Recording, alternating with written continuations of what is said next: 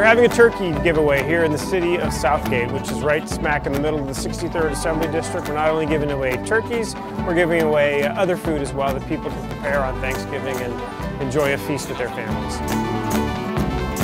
There you go. Thank you. Of course. I'll carry this out to your car. This is a very diverse community, very economically diverse community. Gracias. Of course. Muchas gracias. Providing uh, free turkeys to these families really allows them to put something on the table on Thursday. How are you? Thanks for being here. Hi. I represent a community that in a lot of ways doesn't have the resources that a lot of communities have.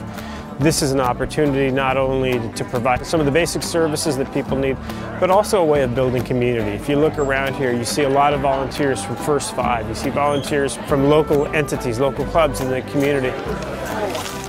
It's great for me to be able to be here today. This uh, really is a great way of kicking off the holiday season. It's a really way to think about giving and to think about all those who, uh, who need resources.